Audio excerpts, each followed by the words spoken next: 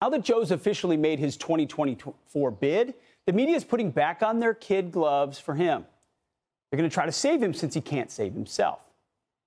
They know he won't win if he doesn't answer any questions. So what's the solution? Just give him the questions ahead of time.